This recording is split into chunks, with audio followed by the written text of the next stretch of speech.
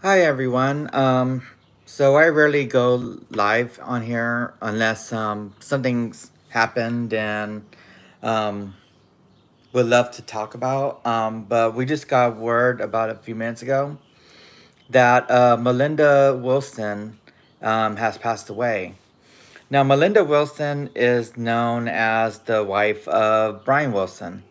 Um, she uh, entered his life during the late 80s, and um, it was because of her that, you know, like Brian was able to escape the clutches of Dr. Eugene Landy, um, who was taking uh, advantage of Brian uh, throughout the 80s. And um, it was because of Melinda that Brian was able to get the kind of um, support that he needed to finally get himself um, back together, as well as you know performing again, and beco- resuming his life as the great genius that we all know Brian Wilson to be.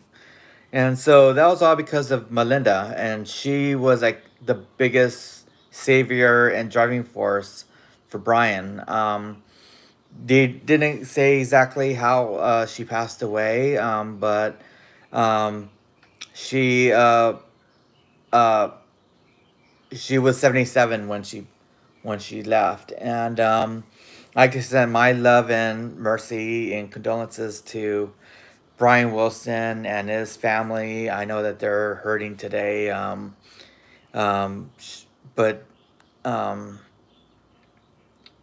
it's sad, you know, like she was a very amazing woman, you know, like, you know, uh, I know that we don't, in music streams, we don't really talk about, you know, like spouses of, of, of famous rock stars, um, save for people like, you know, John's wives, Paul's wife, and, um, and basically that but like you know i think melinda is someone that should be talked about you know like she was brian's um love of, of, his life and um really uh, helped him out these past uh, three decades to get to where he needed to be to make to help him continue making music. And if it weren't for her and for the love that she gave him we would not have seen him perform live again, like you know, doing Pet Sounds live, um, finally it being able to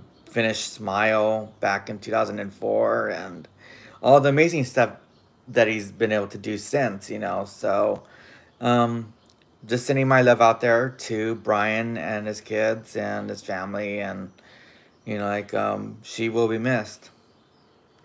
Thank you.